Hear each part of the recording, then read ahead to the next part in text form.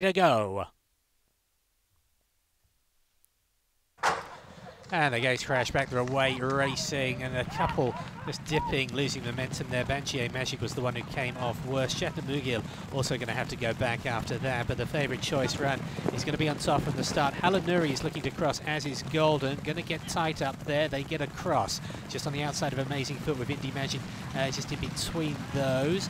Uh, further wide there is uh, Top Ace. Rap Versa back to the fence, one ahead of Flying Regal. A couple more lengths further back to Banshee Magic in the rear division, along with Jack Nugil ahead of Any Line, and Hembok and Manam brings up the rear. So Choice Run, the favourite, has had a decent run, an easy run so far.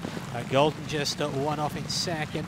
Just up in the inside, Rap Versa has pitched a few lengths. Amazing foot between them. Indie Magic, Halanuri, they'll go down the outside. Flying Regal will take to the rail. Is about five lengths off the lead. It is Choice Run and Rap Versa. From down the outside, Golden as they came to the 300. Looking to come with the run. Indie Magic not out of it yet. Down the outside is Jatna Mugil. And Rap Versa on the far side. On the near side, it's Choice Run into the final furlong. These two going at it. They're ahead of Golden and also Jatna Mugil into the last hundred. And the favourites now applying the pressure. It is a choice run. Here comes Jack the Mugil, but it's too late. Choice run from Rapversa and Jack Mugil.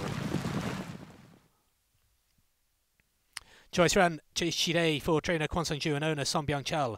And uh, this three-year-old colt, he is by Lion Santa. He gets his third win at start number six.